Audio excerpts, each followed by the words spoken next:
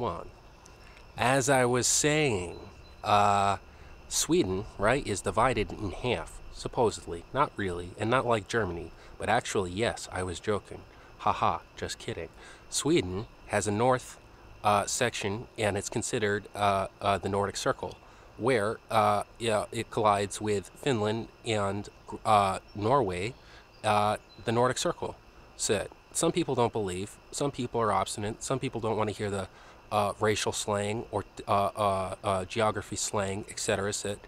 But anyway, and regardless, Sweden, and keep in mind, I just lived in a Swedish house for say, and I'm still a permanent resident there. So gone probably somewhere around year 23. So since '96, GDP home movies made it famous. Anyway, Sweden, and how I claim this as a Swedish apartment, contested. It's actually the landlord's property, or the park owner's property, considering it's just an apartment in the park. Anyway, regardless, and as I was saying, the north part of Sweden set uh, every winter turns dark for 30 days, except for occasionally when the moon shows and shines. And every summer, the north part of Sweden turns rainbows. Not joking. Very serious.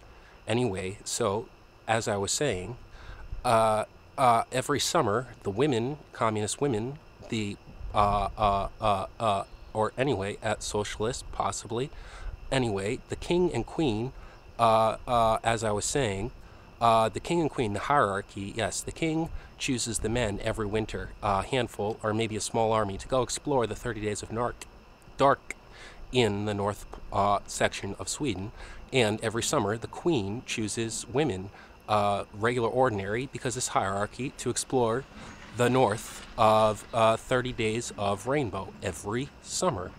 Uh, isn't that spectacular? Check, check, two, three, car, five, out.